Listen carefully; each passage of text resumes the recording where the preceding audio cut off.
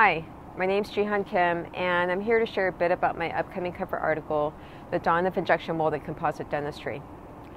So, injection molding is a modern approach to composite restorations, unlike traditional techniques of incremental placement. Um, hand manipulation of composite resins can lend restorations to structural and aesthetic compromises.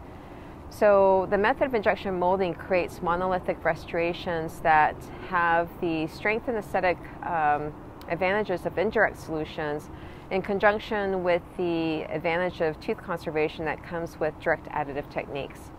Uh, this method is actually being explored and adopted by educational institutions.